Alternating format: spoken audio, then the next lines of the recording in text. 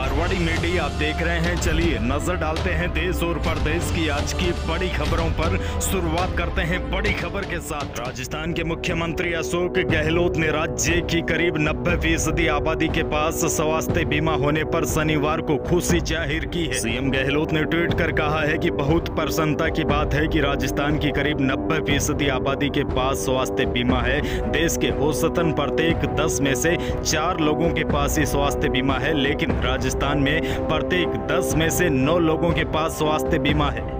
CM Gehlot ने कहा है कि चिरंजीवी योजना के तहत राजस्थान के प्रत्येक नागरिक के लिए 10 लाख रुपए तक का स्वास्थ्य बीमा उपलब्ध है। चिरंजीवी योजना एवं आरजीएचएस से जुड़े परिवार अब महँगे इलाज की चिंता से मुक्त हो चुके हैं। और सरकार राजस्थान के प्रत्येक नागरिक को निशुल्क इलाज उपलब्ध करवाने के लिए भी प्रयासरत है। दूसरी बड़ी खबर, बालिका शिक्षा फाउंडेशन की ओर से गार्गी पुरस्कार की पहली और दूसरी किस्त के लिए आवेदन की अंतिम तिथि 30 जून कर दी गई है। पहली किस्त के लिए पहली बार आवेदन की प्रक्रिया प्रारंभ हो गई है। पहली किस्त अस्सी हज़ार पाँच सौ अट्ठाईस बालिकाओं को मिलनी है, जबकि गार्गी पुरस्कार की दूसरी किस्त के लिए तीन माह में आवेदन प्रक्रिया जारी है। आवेदन करने वाली बालिकाओं की कम संख्या के कारण तिथि बार बार बदलनी पड़ रही है। यह तिथि पहले इकतीस मई थी, जिसको अब बढ़ाकर 30 जून कर दिया है। अगली बड़ी खबर प्रदेश के करीब 27 लाख विद्यार्थियों को अपने परिणाम का इंतज़ार है। लेट लतीफी के कारण बच्चे और अभिभावक असमंजस असमंजस की स्थिति में है क्योंकि अभी तक विभाग इन विद्यार्थियों का परिणाम जारी करने में असफल रहा है। आपको बता दूँ कि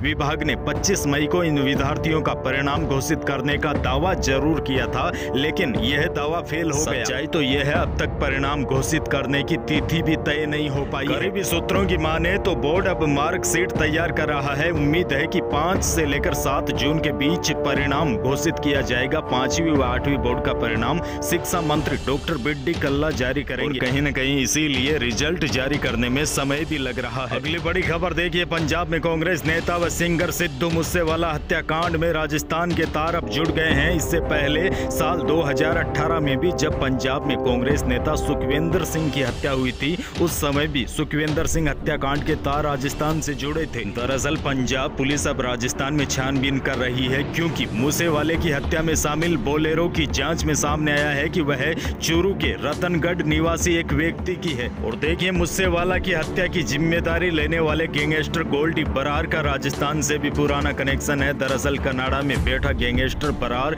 राजस्थान की लेडी डोन अनुराधा का क्राइम पार्टनर रह चुका है। ये वही गोल्डी बरार है जो कुख्यात गैंगस्टर लॉरेंस विस्नोई से जुड़ा है और गोल्डी कनाडा में बैठकर गैंग ऑपरेट करता है। अगली बड़ी खबर प्रदेश के मौसम को लेकर बड़ी अपडेट। नोतप्पा में जितनी गर्मी नहीं थी, उतनी गर्मी इन दिनों पड़ रही है। ऐसे में अब लोगों को मानसून का बेसब्री से इंतज़ार है। लेकिन उससे पहले आपको बता दूँ, राजस्थान का मौसम अगले सप्ताह तक लगभग पूरी तरीके से शुष्क रहेगा। हालाँकि जयपुर मौसम केंद्र के मुताबिक अभी एक कम तीव्रता वाला पश्चिमी विक्षोभ सक्रिय है, जिसके कारण अलग अलग शहरों में बादल छा सकते हैं। कहीं कहीं पर धूल भरी हवाएँ भी चल सकती है, लेकिन आने वाले 24 घंटों के दौरान नागौर, बीकानेर, जोधपुर, चूरू श्री गंगानगर समेत पश्चिमी राजस्थान में तापमान 45 डिग्री सेल्सियस से ऊपर ही रहेगा। मौसम विभाग के अनुसार 20 से लेकर 25 जून के बीच राजस्थान में मानसून आ सकता है। मानसून आने के बाद ही तेज गर्मी और उमस से राहत मिलेगी।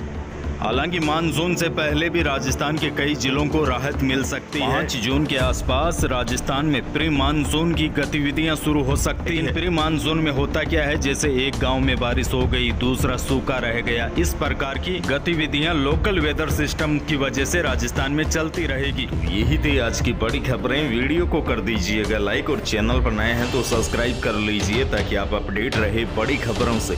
धन्यवाद।